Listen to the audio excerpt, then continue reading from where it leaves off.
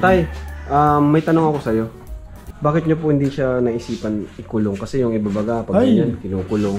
Naawa Hindi ko, niyo Sir po kaya? Mikey. Hindi niyo Hindi ko kaya? kayang gawin yung mga kinakadi na nakikita ko, Sir. Yung Pwede kinukulong, hindi ko magagawa. Bantayan ko na lang, Sir, yung makagala-gala sa dyan. Kisa doon makita mo, ikulong yung nakawawa naman. Kaya,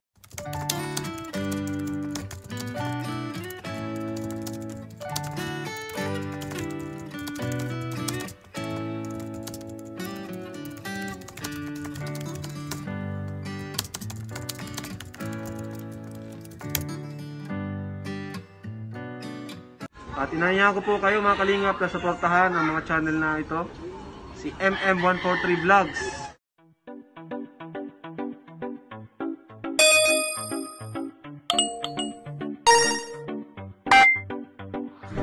Mga kalingap, huwag niyo po kalimutan subscribe.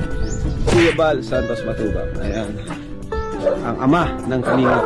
Wala pong team kalingap kung wala si Papa. Ayan mga kalingap, naghanap po kami ng mga ano, ito. Naghanap po tayo ng mga bibigay kay Reyna para malibang po kasi hindi na lang po puro cellphone ang hawak. Ayun, may dala po tayong reading materials. May ito, mga mga palaruan, toys. Ayan, reading materials and school supplies. Ayan.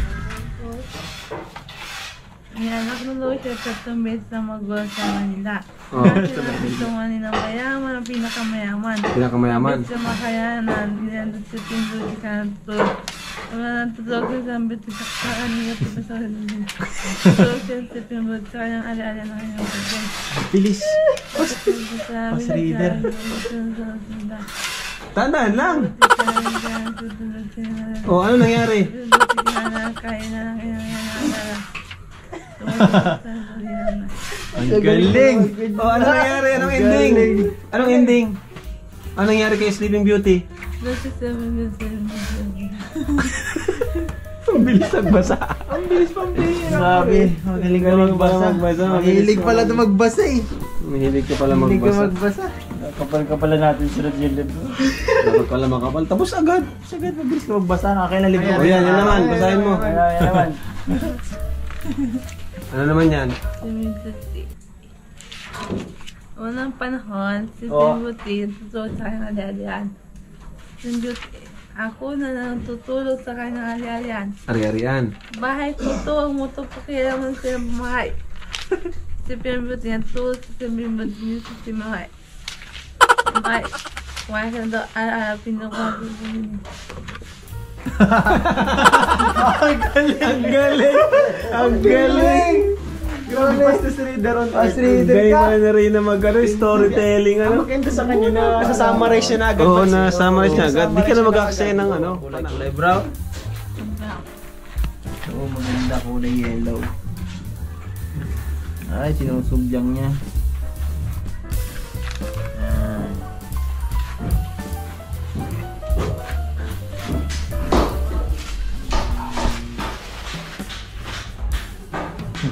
Yan ang magandang libangan. Pag wala kang ginagawa, mag para corner ka lang ano, Rina. Oo, kulay-kulay. Mag-drawing ka dito. Sinusog na po yung daan. Yun o, tutulungan ka pa ni Eh, Kuya Edo. pagpula. Galing naman ni Reyna pala. Marunong.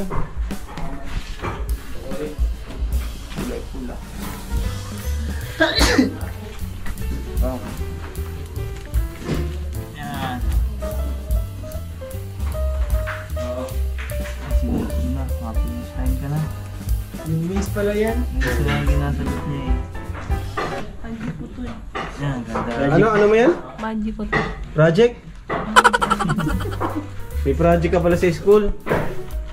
Sino ang paborito mong teacher? Mamay basta pantadyo na kanta. Ay, kilala oh. Ano ko, Sir David. Kasi na. Hindi ba ang kulay nito?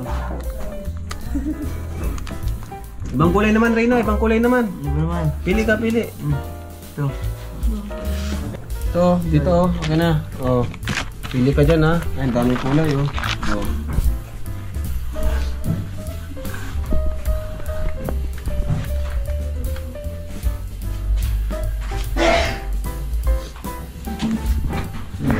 Yan ang magandang libangan ni Reyna. Sinusog na oh. Ayan mga kalingap, para may libangan si Reyna. Libangan ni Reyna. Iwan mo na, pagbalik mo na kukulay pa rin. At least, ano, babalik yung dati yung memory sa pag ano ba kay school, sa school. School, tama. Para di siya mahirapan, mabalik yung ano niya.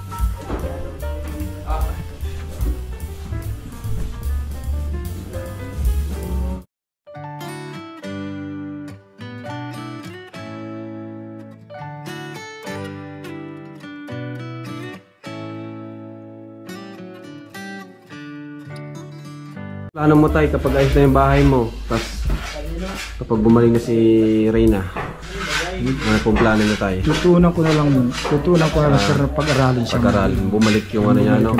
Bumalik. Hindi, bumalik yung ano niya, sa dati niyang buhay. Para ma... Ngayon tayo, nag, iba, nag-iba na si Reyna, no? Nag-unti-unti nang gumagaling. Tay, um, may tanong ako sa'yo. Bakit niyo po hindi siya naisipan ikulong? Kasi yung iba baga, pag Ay. ganyan, kinukulong. Naawa ko Hindi niyo sir po kaya? Mikey. Hindi niyo Hindi ko kaya? kayang gawin yun. Ang kinakadi na nakikita ko sir, yung Sabi kinukulong, hindi ko magagawa. Bantayan ko na lang sir yung makagala-gala sa dyan. Kisa doon makita mo, ikulong yung nakawawa naman. Kaya, Tapos sisilip-silip pa sa bintana, parang nakakulong siya. kaya ano, bilib Hindi talaga ko to, pinapa- bilib kami dito kay tatay. Hindi niya nagawang Hindi ikulong. ko ang ga- ay, Galaan na lang kami dyan. Kisa ikulong ko siya ng ikulong dyan, nakawawa naman. Tapos makikita mo masilip sa bintana, ay parang Parang hayop. oh, hindi ko magagawa ng ganyan. Pero di man natin masisi din yung iba eh, no? Na kinukulong Paro kasi. sir ng panang tao. Baka, pag, baka makasakit baga. Kaya kinukulong nila. Tira ko sir, eh, dati na Ikaw nanak. talaga, binantayan mo lang talaga. Binantayan no? ko lang sir yan, hindi ko yung kinukulong. Magkakasakit siya. Pag binabantay ko naman sir, nakadikit lang ko sa kanya. Malay mo, bata rito sa kabila. Dito naman ako sa kabila. Pag may bata naman dito, dito naman ako sa may kabila. At kasi hindi naman maano, hahawakan ko kaagad Oo. siya. Ayos. Yan, hindi ko hindi ko Grabe yung yung... hirap. No? Siya daw baga. Di ba nasasaktan din kayo, no? Ay, Irene? sinusuntok ako. Pinabayaan ko na lang, malabo-labong dyan. Ngayon, Tama sinasaktan na pa ko rin dito po kayo? Ha? Sinasaktan Ay, rin hindi po lang, kayo sir. ngayon? Hindi na. Hindi na sir na.